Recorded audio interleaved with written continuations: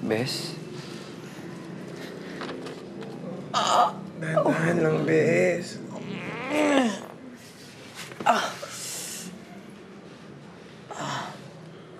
Ano yung ginagawa mo? Ang sakit.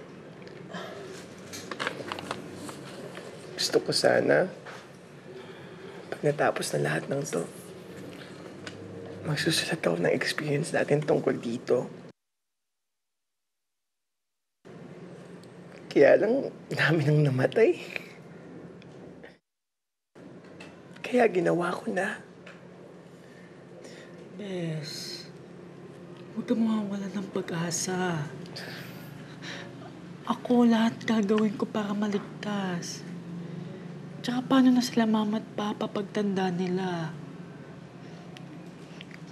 Kung ang unika ihanga nila, di ba, madededs pa. Promise, ayusin ko na rin pag-aaral ko. Ako, Bes. Makakaligtas ako dito. And promise, ayusin ko yung problema namin ni Mama. Hindi ko pala siya pwede tiisin. At lahat gagawin ko para sa kanya. Tama ka, Bes. Ako, kahit di ako siguradong hinahanap ako ni Papa, magiging anak pa rin ako sa kanya. Mamahalin ko pa rin siya. Kung yung mga rebelde nga may puso, baka ganun din si Papa. Bes. Bes, ito tatandaan niyo, ha? Ay, lahat gagawin ko para protektahan kayo. Lahat ng kaya ko gawin, gagawin ko para sa inyo. Sa bes. Ang susuko, ha? I-promise mo sa akin, walang mamamatay.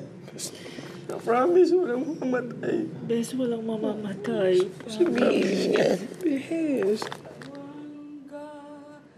hermosa, preciosa, bendita, orgullo de Mindanao. Tus velas delagas son las que hermosan tu deliciosa ciudad. Flores, amores, Te adornan tu jardín.